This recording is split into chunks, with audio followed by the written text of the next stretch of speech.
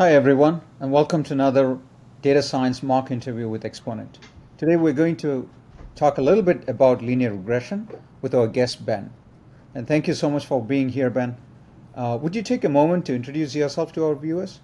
Hey everyone, my name's Ben.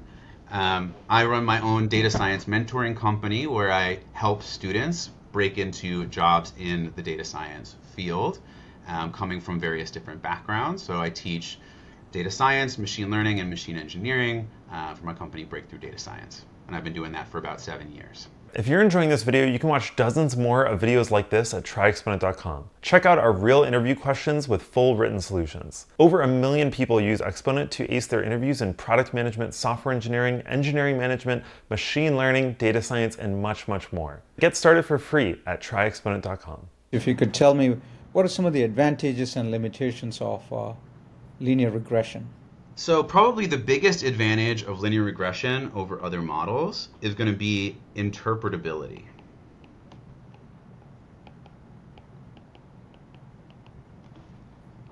So what does this mean? As we've already seen, linear regression has this formula that goes with it, with right, our y hat equals um, equals theta times x. And so it's literally just summing up all of our different variables times some coefficient. So we're able to see what is the effect of an individual coefficient on a target. This allows us to both make large explanatory claims, like what we were talking about earlier, um, around what is the effect of a feature on a target, as well as allowing us to diagnose potential problems with our regression. Um, and it's very, very flexible to deal with many different kinds of data, to deal with interactions, um, but it doesn't do that automatically. We'll get into that in a second. Um, another advantage is going to be speed.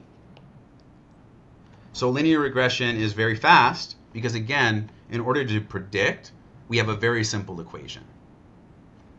And so computationally, it really doesn't take much on our uh, on our machines to be able to calculate the result of a linear regression given new input data because we can just run the equation and input the data, and boom, we're done. As compared to some more intensive um, algorithms like SVM, which can take a much longer time. When you're dealing with um, limits of linear regression, um, I'd say one major limit is the ability to deal with nonlinear relationships.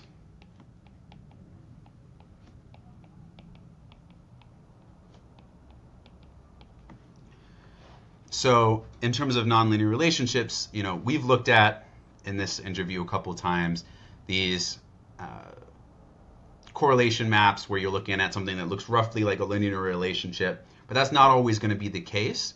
You know, you have the classic one where you're trying to uh, do a, draw a decision boundary around that's like a circle um, to to in, to separate your zeros from your ones, and our linear regression is going to have a hard time with that um, this can also look like you have polynomial terms where you have these sorts of relationships where a line isn't going to capture that. And you can do this, you can solve this by using polynomial terms. Um, you can also look at interactions between variables. So sometimes um, variables will interact with each other. It will interact with each other in a way that affects how that variable um, affects the target variable, right? So two two features together, depending upon the value of a different feature, might affect the effect of a target on another variable. And linear regression has a hard time dealing with that, but you can introduce interaction terms as well. The problem is that this is labor intensive and also a little bit iffy sometimes um, as far as making sure that we're not creating too much complexity here. Whereas something like random forest um, is going to automatically deal with polynomial terms and automatically deal with interaction terms without us having to do any of this. Um, similarly, another advantage of random forest or tree-based models over a linear regression is going to be dealing with highly dimensional data.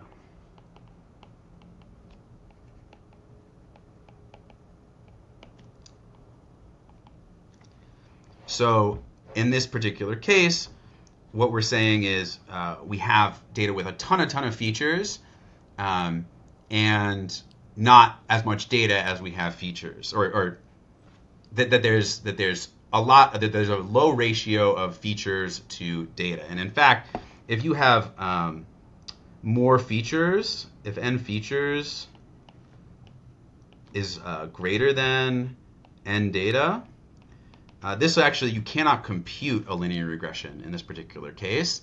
Um, using standard OLS, you can still do it with gradient descent.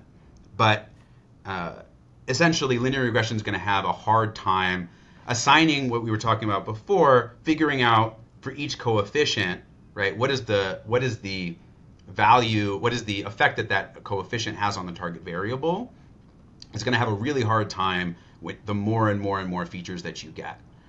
Um, and and in fact it's going to run into something called the curse of dimensionality at a certain point where it's it's really going to break down.